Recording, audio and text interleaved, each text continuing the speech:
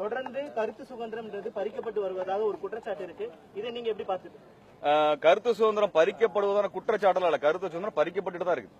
அதுல குற்றச்சாட்டுங்கிறலாம் அப்படிதான் நடந்துட்டு இருக்குது. இந்திய அரசு பாஜக அரசு குறிப்பாக பாஜகவுக்கு பின் பின் பின்னிருந்து இயங்குகின்ற ஆர் எஸ் இந்த தமிழின விரோத தமிழர் விரோத அரசியல் தான் இது அனைத்திற்கும் காரணம். தமிழர்களை வந்து கிட்டத்தட்ட ஒரு சட்ட கூடியும் போட முடியாத அளவுக்கு ஒடுக்கக்கூடிய ஒரு வேலையை அவங்க செஞ்சிருக்கிறாங்க. ஆக கருப்பு சட்டையை கண்டு இந்த காவி சட்டை அலறுகிறது. காவி சட்டைக்காக காக்கி சட்டை வேலை செய்கிறது. இதான் இன்னைக்கு இருக்கக்கூடிய அரசியல். ஆகவே கருப்பு சட்டை வெற்றி பெற வேண்டும். கருப்பு சட்டை நிச்சயமாக வெற்றி பெறும் என்பதான் வரலாறு. தமிழக அரசியல்வாதிகள் மேல தொடர்ந்து குற்றச்சாட்டு வச்சுட்டே இருக்கீங்க. ஆனா இப்ப இருக்கக்கூடிய முதலமைச்சர் துணை முதலமைச்சர் சொல்லியிருக்கிறாரு தங்களை போன்ற அரசியல்வாதிகளை உருவாக்க ஆசிரியர்கள் முன்வர வேண்டும் அப்படின்னு சொல்லியிருக்காரு. இதை நீங்க எப்படி பாக்குறீங்க?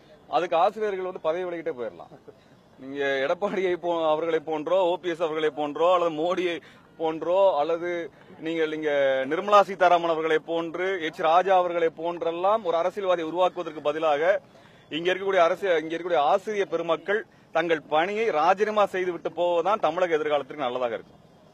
தொடர்ந்து நவோதயா பள்ளிகள் அதுக்கப்புறம் யோகா வகுப்புகள் தமிழகத்துல தொடங்கப்படும் சொல்லியிருக்காங்க. இதை பத்தி நீங்க என்ன நினைக்கிறீங்க? அதாவதுங்க வந்து அரசு பள்ளிக்கூடங்கள் சிறப்பாக செயல்படவில்லை. ஆகவே தனியாருக்கு ஒப்படைக்கணும் நித்தி ஆயோக் அறிக்கை கொடுத்திருக்காங்க நித்தி ஆயோக் என்பதை உருவாக்கியது மோடி அரசு. தங்களுக்கு ம- நித்தி ஆயோக் என்ன சொல்லுதோ அது மோடி அரசு நடைமுறைப்படுத்துது. ஏற்கனவே இருக்கக்கூடிய பள்ளிக்கூடத்தெல்லாம் தனியார் கம்பெனிகள் அதாவது கார்பரேட்டுகளுக்கு கொடுக்க சொல்லியிருக்காங்க அப்ப இதுக்கு நடுவில் மறுபடியும் நவோதயாங்கிற பள்ளிக்கூடத்தை கொண்டு வரதான் ஒன்னு மும்மொழி கொள்கை இங்க திணிக்கிறது. திணிச்சிட்டு அது ஒரு மாவட்டம் தோறும் முப்பது ஏக்கர் நிலம் வேணும்னு சொல்லியிருக்காங்க தமிழ்நாடு அரசு ஒதுக்குன்னு சொல்லியிருக்காங்க கிட்டத்தட்ட ஆயிரம் ஏக்கர் நிலம் வந்து இந்த நவோதயாக்காக கொடுக்குறாங்க அவங்க.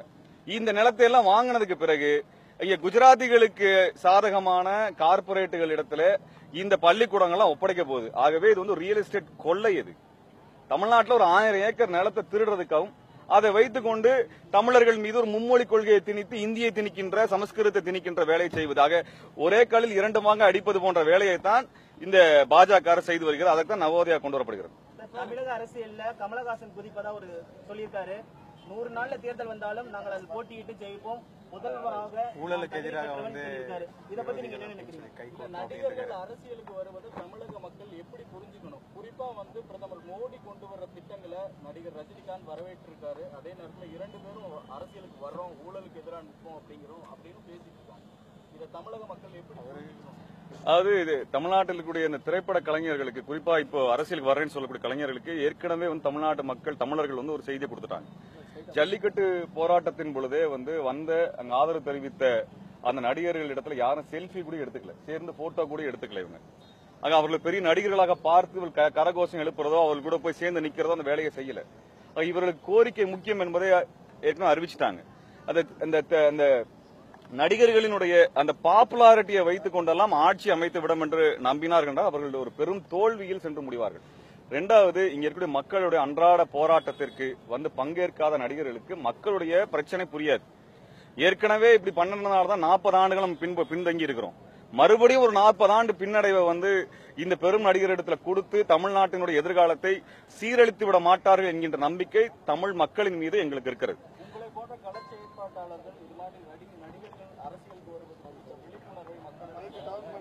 இல்லைங்க நாங்க வந்து எது சரியான அரசியல் என்பதை மக்களிடத்தில் சொல்லக்கூடியதா எங்க வேலை? மக்கள் எது சரியான அரசியல் என்று புரிந்து கொண்டார்கள் என்றால் அதிகாரம் மக்களிடத்துல வந்துரும். அரசியல்வாதிகள்ட்ட கிடையாது. மேற்குலகத்துல வந்து எந்த அரசியல்வாதிக்கும் முக்கியத்துவம் கிடையாது. நம்ம ஊர்ல போற மாதிரி பத்து கார்ல போறதோ டிராபிக் நிறுத்துற வேலையெல்லாம் அங்க நடக்காது. அங்க சாதாரண மக்களோட ஒன்று மக்களோட மக்களா தான் அங்க அரசியல்வாதி நிக்க முடியும். அங்க ஏனால் மக்கள் அரசியல் உணர்வு பெற்றிருக்கிறான். அதனால அங்க அரசியல்வாதிகளுக்கு முக்கியத்துவம் கிடையாது. அங்க அரசியல்வாதிகள் மக்களுக்கு வேலைக்காரலா இருக்கிறார்கள். இங்கே நம்மை வேலைக்காரர்களாக அடிமையில நடத்தக்கூடிய அரசியல்வாதி இருக்கிறார்கள். ஆகவே மக்கள் அரசியல் உணர்வு பெற்று விட்டார்கள் என்றால் இந்த அரசியல்வாதிகளுக்கு முக்கியத்துவம் இல்லாமல் போயிடும் அரசை மக்கள் கட்டுப்படுத்துவார்கள். அரசை மக்கள் நடத்துவார்கள். ஆக மக்களுக்கு தான் இந்த அரசும் அதிகாரமும் இருக்கும் என்பதை நாங்கள் உணர்த்துவதற்காக தான் இந்த போராட்டத்தை நாங்கள் துவக்கி வருகிறோம் நடத்தி வருகிறோம்.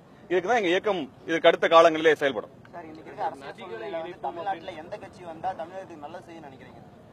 தமிழ்நாட்டில் முதலமைச்சர் பதவியை வைத்துக் கொண்டு பாத்தீங்கன்னா அது கலெக்டர் ஆபீஸ் கலெக்டருக்கு என்ன மாவட்ட அதிகாரம் இருக்குதோ அதே அதிகாரம் தான் இங்க முதலமைச்சருக்கு இருக்குது. நீ எதுவா இருந்தாலும் மீன் நம்ம படம் கொண்டு போயிட்டா இல்ல கடிதம் எழுதக்கூடிய அளவுக்கு தான் அதிகாரம் இருக்கிறது.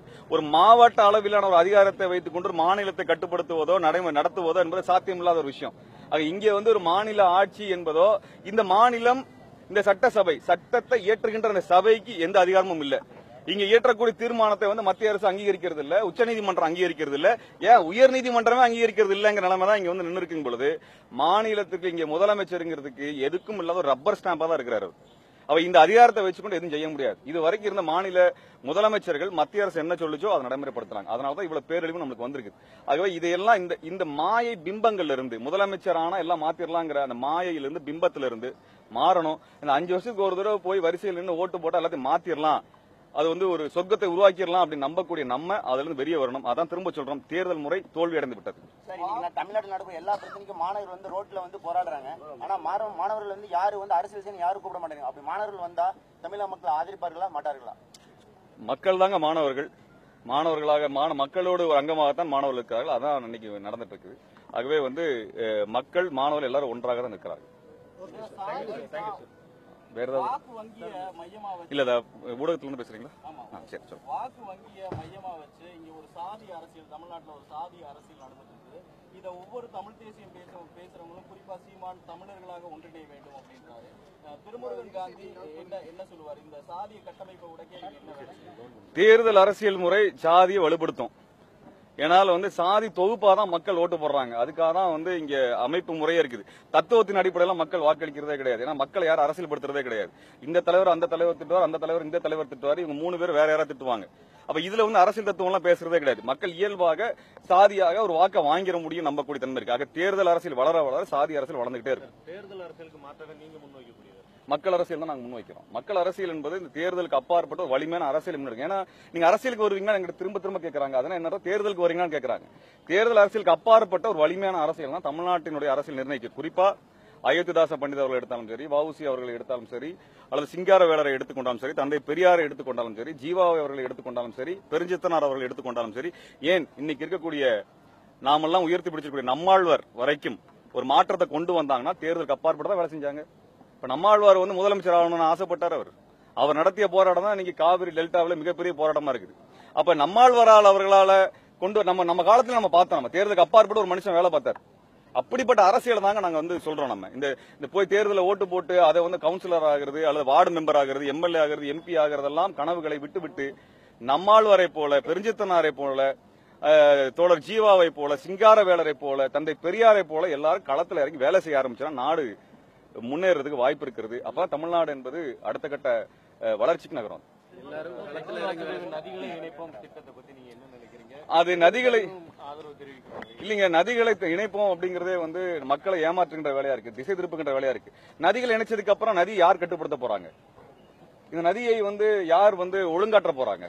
ஏற்கனவே காவிரி மேலாண்மை வரைக்கும் நம்மளுக்கு காவிரியில் தண்ணியே வராத பொழுது காவிரி புஷ்கர விழாவை நடத்துறாங்க. இங்க காவிரி ஆத்து இணைப்பை வந்து நடத்துறாங்க. நாடே இணைக்கக்கூடிய வேலையை செய்யாத பொழுது ஆத்தை இணைக்கிறதுங்கிறது மக்களை திசை திருப்புற வேலை. இங்க வந்து ஒண்ணும் இல்லைங்க குப்பை கூட்டுறது.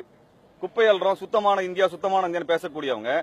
மா இங்க குப்பை பொறுக்கக்கூடிய இந்த பிளாஸ்டிக் குப்பையில பொறுக்கக்கூடியவர்கள். அதையெல்லாம் பொறுக்கி பொறுக்கி குப்பையா கிடக்கூடியதெல்லாம் பொறுக்கி பொறுக்கி இந்த நகரத்தை சுத்தமா வைத்திருக்கக்கூடிய அந்த நபர்கள். அந்த குப்பை பொறுக்கக்கூடிய அந்த பிளாஸ்டிக் மேல இருபத்தெட்டு சதவீதம் ஜிஎஸ்டி கொண்டு வந்து இல்லையா? அப்ப நீ குப்பை பொறுக்கிறவங்கள இருபத்தெட்டு பர்சன்ட் டாக்ஸ் போட்டிருக்க நீ. அப்ப நீ குப்பையை குப்பை இல்லாத இந்தியா உருவாக்கன்னு சொல்றது எப்படி ஏமாற்று வித்தையோ அதேதான் இப்ப நடக்குது. யாரும் யார்கிட்டையும் சம்பளம் வாங்காம வீதியில இறங்கி நம்ம போடுற இந்த குப்பை பிளாஸ்டிக் குப்பையெல்லாம் பொறுக்கி எடுத்து அந்த அசுத்தங்களுக்கு நடுவில் செயல் பண்ணி நம்ம நகரத்தை எல்லாம் சுத்தமா வச்சிருக்கக்கூடிய அந்த தொழிலாளியின் மீது இருபத்தெட்டு சதவீதம் வரிய போட்டுட்டு இன்னொரு பக்கம் சுத்தமான இந்தியா உருவாக்குவேன் அப்படின்னு சொல்லி இந்த தொ- தூக்கிட்டு போகக்கூடிய மோடி பண்ணக்கூடிய ஏமாற்று வேலை தான் இந்த நதிநீர் இணைப்பு என்கின்ற வேலை. அதுக்கு ஒரு நல்ல சாமியார் கிடைச்சிருக்காரு. அவரும் சுற்றுப்புற சூழலை சீரழித்தவர் தான் இவங்க எல்லாம் சேர்ந்து சீரழிவு வேலையை செய்யறாங்க இதுக்கெல்லாம் நாம் ஏமாற முடியாது. சார் இப்ப இந்த கலப்பணி கள போராட்டம் வந்து டெல்லியில வந்து விவசாயிகள் வந்து இப்போ வரையும் போராடிட்டு தான் இருக்காங்க. ஆனா அந்த போராட்டத்துக்கான எந்த ஒரு பலனும் உங்களுக்கு கிடைக்கல. அதாவதுங்க நீங்க ஆயிரத்தி எட்நூத்தி ஐம்பத்தி ஏழு ஆரம்பிச்ச விடுதலை போராட்டம் ஆயிரத்தி தொள்ளாயிரத்தி நாற்பத்தி ஏழு வரைக்கும் நடக்குதுங்க. அது உடனடியாக நமக்கு கிடைக்கக்கூடிய விஷயம். இப்பதான் விவசாயிகள் பிரச்சனை இப்பதான் மாணவர்கள் உணர்ந்திருக்கிறார்கள். மாறு மாணவர்கள் வீதிக்கு வர ஆரம்பிச்சிருக்காங்க ஜல்லிக்கட்டு போராட்டத்துக்கு மாணவர்கள் வந்திருக்காங்க நீட்டு போராட்டத்துக்கு மாணவர்கள் வந்திருக்காங்க இப்பதாங்க தமிழ்நாடு என்பது ஒரு புத்துணர்ச்சி மிக்க அறுபதுகளில் இருந்ததை போன்ற தமிழகமா உருவாக ஆரம்பிச்சிருக்கு அந்த தமிழகம் ஆரோக்கியமான தமிழகம் இருக்கு. ஏன்னா இதுல வந்து யாரும் தலைவன் கிடையாது. நாங்களும் தலைவராக இருக்கலாம் யாரும் வரல. இங்க மக்கள் தான் தலைவர்கள் மாணவர்கள் தான் தலைவர்கள் இளைஞர்கள் தான் தலைவர்கள். கோரிக்கை தான் தலைமை. அந்த கோரிக்கையை தலைமையா வச்சு எல்லாரும் போராட வர்றோம். இதுல திருமுருகனை கைது பண்ணானா டைசனை கைது பண்ணானா இளமாறனை அருண்குமாரையோ அல்லது வளர்மதியையோ கைது பண்ணி போட்டாலும் போராட்டம் நிக்காது நிக்க போறது இல்ல இதான் இன்னைக்கு இருக்கக்கூடிய நிதர்சனம். ஒரு வெற்றிகரமான ஒரு புரட்சிகரமான அரசியலை தமிழ்நாடு மக்கள் முன்னெடுக்க ஆரம்பிச்சிட்டாங்க. இதனால இந்த அரசு பயப்படுது.